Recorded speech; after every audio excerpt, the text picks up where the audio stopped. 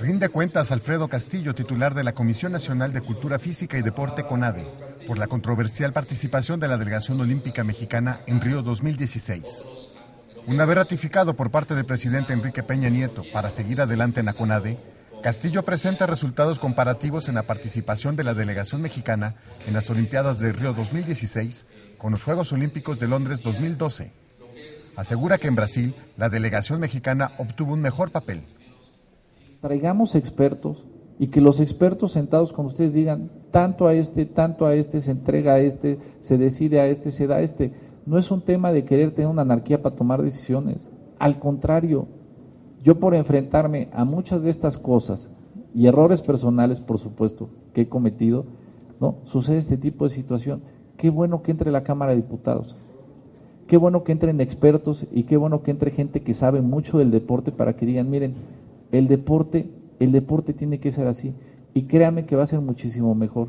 Va a ser muchísimo mejor. En el seno de la Comisión del Deporte de la Cámara Baja, Castillo fue cuestionado por los diputados.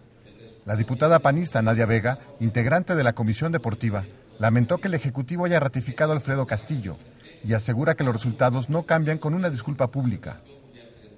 Por eso, los y las diputadas del PAN creemos que los pésimos resultados que han dejado su paso en la CONADE no se arreglan con un usted disculpe y una promesa en el que el futuro nos irá mejor o que no empeorará.